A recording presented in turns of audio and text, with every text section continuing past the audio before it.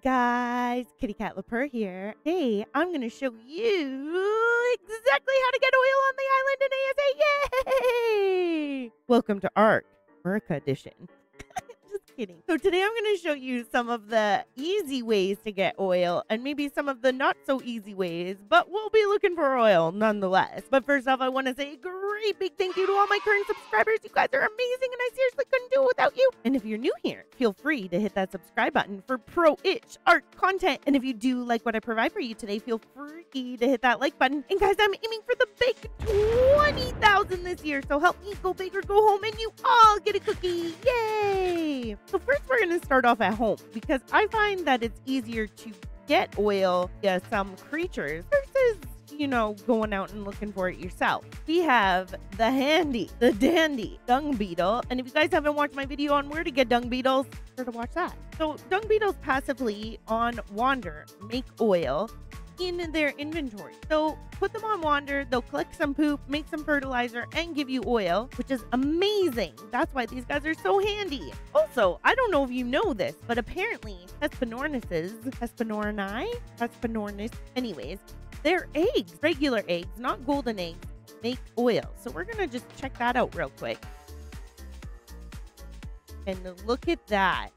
Super quick too. That's awesome. So if you guys do have some laying around, whatever reason, their regular eggs can make you some oil. Next, we have some water creatures that passively make oil in their inventory. First, we have the Basilo.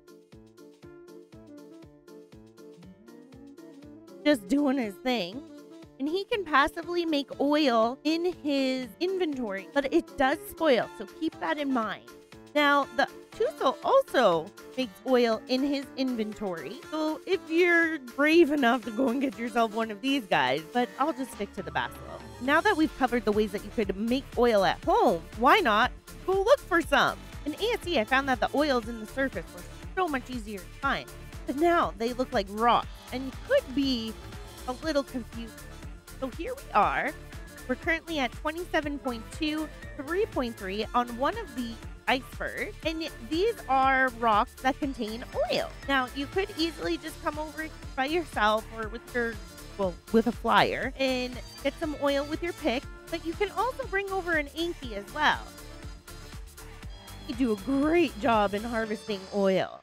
And here's another place where oil is a very easy to find and very, very safe. We're currently at the iceberg in the very top corner, 7.1 for 0.5.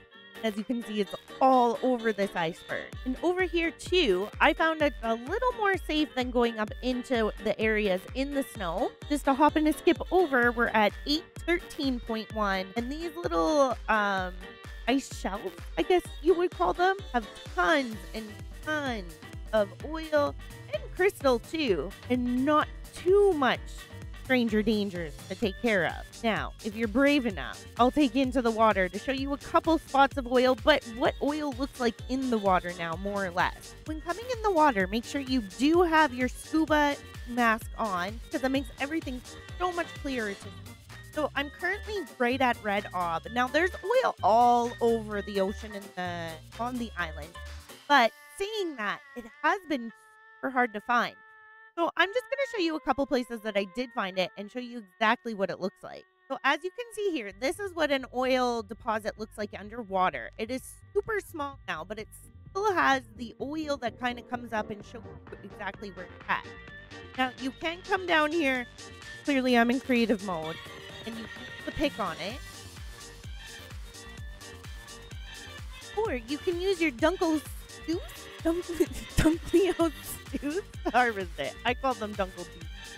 And as you can see, ate that right up and harvested me some delicious oil.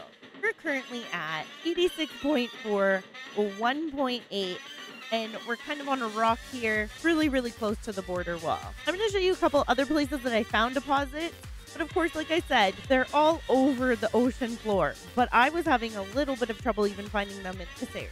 Another one, we're kind of in this like deep canyon. Now, I'm used to like the the oil deposits being so big, so it's hard to find. Here's one. I'm currently at 96.8, 12.4, close to Craig's Island. It's in this like deep canyon, and of course, it is harvest harvestable by your pick or your Dungle Doofus. I found another one over here in the corner. There, like I said, there are a couple like you could go up and down. I like to stay close to the border wall when looking, but I definitely don't go in the water to look for oil. But here we are at 98.1, 29. And again, this isn't the only places you can find oil. You can find them all throughout the ocean um, or even in the snow. Go have a look for them. So there you have it, folks. Some of the easy passive ways to get oil on the island and where you can find oil if you don't have those caves. If you did like what I provided for you today, feel free to hit that like button if you're new here. Why not subscribe? Let me know if you have any oil tips and tricks down in the comments below. And I hope you guys have a super a duper magical day, and we'll see you in the next one. Bye for now.